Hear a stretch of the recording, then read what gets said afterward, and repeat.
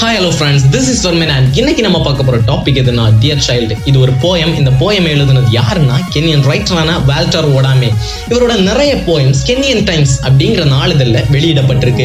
இந்த poem dear சைல்டில் அவர் ஒரு சொந்தம் பந்தம் இல்லாத ஒரு அநாத குழந்தைகிட்ட பேசுறது மாதிரி எழுதியிருக்காரு. இந்த போயமை தொடங்கும் போதே ஒரு சோகமான டோன்ல தொடங்கியிருக்காரு. முதல் வரிகளே ரொம்ப ஆழமானதா இருக்கு. அப்படி என்ன எழுதியிருக்காருன்னா in splatted face I see the different faces of our city அதாவது உன்னோட ஈரமான முகத்துல என்னால இந்த சிட்டியோட வெவ்வேறு பகுதிகளை பார்க்க முடியுது அப்படின்னு சொல்றாரு. ஒரு சிட்டியோட எல்லா பகுதிகளுமே ஒன்னா இருக்காது. சில இடங்கள் சுத்தமா இருக்கும் சில இடங்கள் அசுத்தமா இருக்கும் சில இடங்கள் வெளிச்சமா இருக்கும் சில இடங்கள் இருட்டா இருக்கும். இப்படிதான் ஒரு சிட்டி இருக்கும். அதுக்கப்புறம் இந்த ஆதரவற்ற குழந்தை காங்கிரீட் ஜங்கிள சுத்தி திரியுது அப்படின்னு சொல்றாரு. இங்க போய் காங்கிரீட் ஜங்கிள்ஸ் அப்படின்னு எதை சொல்றாருன்னா சிட்டியை தான் சொல்றாரு. நாகரிக வளர்ச்சிக்கு ஏற்ற விதமா நிறைய பில்டிங்ஸ் எல்லாம் அந்த சிட்டிக்கு வந்திருந்தாலும் அங்க வாழ்றதுக்கு ஏற்ற இயற்கை சூழல் மொத்தமா அழிஞ்சு போச்சு. அதனாலதான் நம்ம போயட் சிட்டியை காங்கிரீட் ஜங்கிள் அப்படின்னு சொல்றாரு. அது மட்டும் இல்லாம அந்த சிட்டி நவீன வாகனங்களான பஸ் லாரிஸ் மாதிரியான வாகனங்களால நிறைஞ்சிருக்கு. அந்த குழந்தை தன்னோட வாழ்வாதாரத்துக்காக அங்க நடமாடுற எல்லா மனிதர்கள் கிட்டையும் கை நீட்டி நிக்குது. எதுக்காகனா யாராவது ஒரு காயினோ ரெண்டு காயினோ தர மாட்டாங்களா அப்படின்னு கை கட்டி நிக்குது. அது மட்டும் இல்லாம அந்த குழந்தை உணவு தேடுறத நம்ம போயிட்டு எதுக்கு கூட கம்பேர் பண்ணியிருக்காருன்னா ஒரு கோழி அழுக்குல இருந்து எப்படி இறைய கொத்தி எடுக்குமோ அதுக்கு கூட கம்பேர் பண்ணியிருக்காரு. அதே மாதிரிதான் குப்பை தொட்டியில இருந்து இந்த குழந்தை உணவு தேடுது.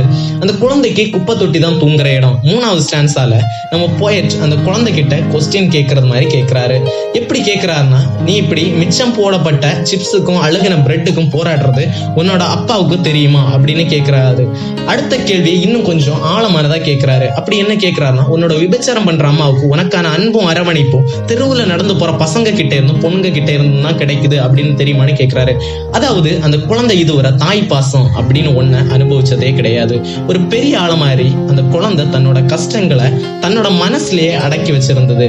அடுத்தபடியா நம்ம போயட் அந்த நாட்டு கவர்மெண்ட்டை பத்தி பேசுறாரு.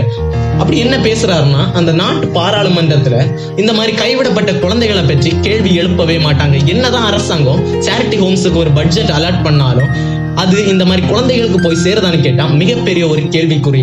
இங்க நம்ம போய் அரசாங்க அதிகாரிகளை பற்றிய மிகப்பெரிய அதிருப்தியை தெரிவிக்காரு இது எல்லாத்துக்கும் மேல அங்க இருக்கிற போலீஸ் இந்த மாதிரி குழந்தைகளை பார்த்தாலே எலிகளை விரட்டி அடிக்கிற மாதிரி விரட்டி அடிப்பாங்க. இந்த போயம நம்ம போயிட்டு ஒரு நெகட்டிவ் நோட்ல முடிச்சிருக்காரு. அதாவது அந்த குழந்தைய பார்த்து நமக்கெல்லாம் ஒரு நல்ல எதிர்காலமே இல்ல அப்படின்னு சொல்றது மாதிரி முடிச்சிருக்காரு. இந்த போயம் ஆதரவற்ற அந்த குழந்தையோட பிரச்சனைகளை மட்டும் இல்ல இவங்களை பராமரிக்க தவறுன அரசாங்கத்தை பற்றியும் சொல்லுது.